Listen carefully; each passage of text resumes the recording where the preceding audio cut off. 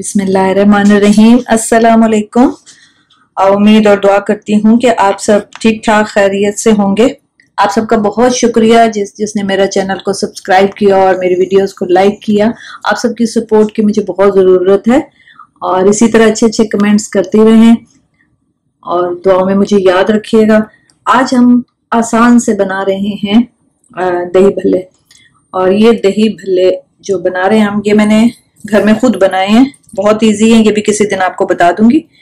और हमने एक कप चने लिए हैं बॉयल और दो आलू को बॉईल कर लिया मैंने। और ये बूंदी जो है, ये बाज़ार की है, क्योंकि इस, अभी मैं बूंदी जो है, वो बनाने का थोड़ा, ज़रा टाइम नहीं था। मैंने कहा, चलो आज ये इसी से गुजारा किया जाए। वैसे बूंदी बनानी बहुत आसान है। घर में, वो भी मैं आपके साथ शेयर करूँगी। और इसके साथ मेरे पास टमाटर, प्याज, थोड़ा सा पुदीना और हरी मिर्च और थोड़ा सा हरा धनिया है। और मैं ये करती हूँ कि पहले मैं दही ये मैंने लिया है, तकरीबन एक किलो के करीब दही है। और इसमें मैंने लाल मिर्च, नमक और चाट मसाला जो है वो डाल दिया है। और इस दही को मैं मिक्स करके रख लूँगी। इससे जो है वो टेस्ट अच्छा आता है, क्योंकि जब आप बाकी चीज़ें डाल देते हैं और दही एंड पे डालते हैं तो वो जरा इतना अच्छा नहीं होता। और मैं इसमें थोड़े सी इमली का पेस्ट भी डालूँगी।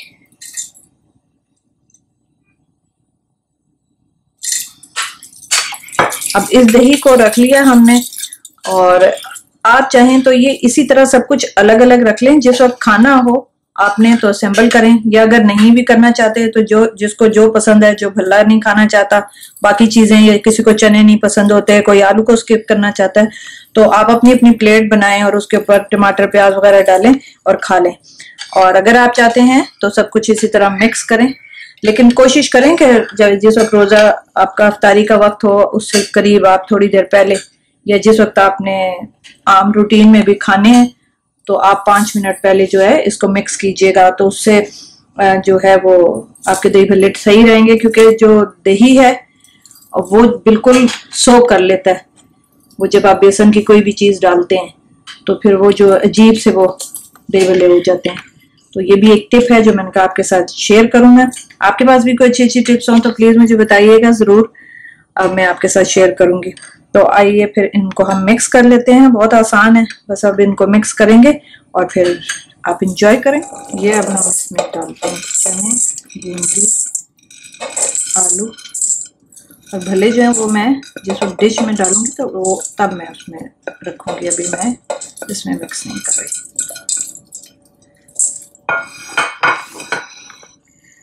और इसमें हम डालते हैं ये टमाटर, प्याज, हरा धनिया, पुदीना। इनको करते हैं मिक्स और थोड़ा सा दही मैं इसमें इस वक्त डालूँगी।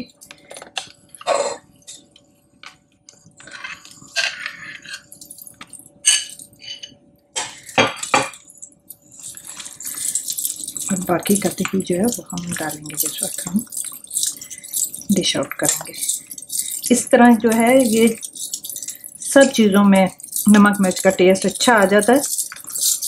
आप नमक मिर्च अपने हिसाब से इस्तेमाल करें और चाट मसाला भी जो है वो अपने टेस्ट के हिसाब से डाल लें कि आपको कितना खाना है। अब ये अच्छी तरह से मिक्स हो गया। इसको थोड़ी देर पड़ा रहने देंगे। तो टमाटर और प्याज जो है वो अच्छी तरह उसमें रच बस जाएगा और बहुत अच्छा इसका टेस्ट आएगा।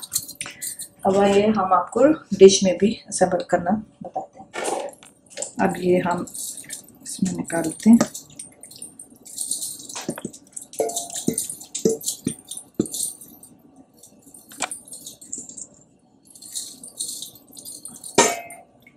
इसके ऊपर हम ये रखते हैं जो हमने बनाए हैं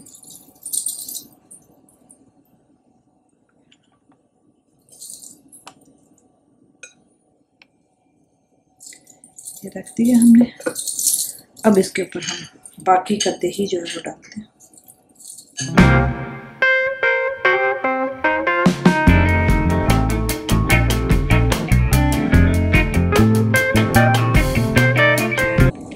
सारा दही डाला करें। जब भी दही बड़े या दही भल्ले बनाएँ आप तो दही उसमें ज़्यादा होना चाहिए और दही में थोड़ा सा दूध आप मिक्स कर लें तो उससे बहुत अच्छा टेस्ट आता है।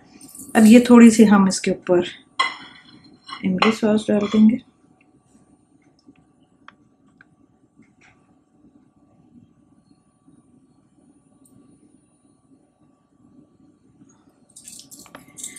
ये डाल दिया और अब हम चाट मसाला थोड़ा सा कर देंगे। अब अपने टेस्ट के हिसाब से चाट मसाला डालें, आपको जितना खाना तो लीजिए ये मज़ेदार से दही भले हमारे तैयार हैं और ट्राई ज़रूर कीजिएगा प्लीज़ और अगर आपको अच्छी लगती है मेरी रेसिपीज़ तो मेरे चैनल को लाइक और सब्सक्राइब ज़रूर करें। और बेल आइकन को प्रेस करना ना भूलें ताकि मेरी नई जो भी वीडियो आती है वो आप तक पहुँच सके। आप सब दुआ में याद रखिएगा। अल्लाह हाफिज़।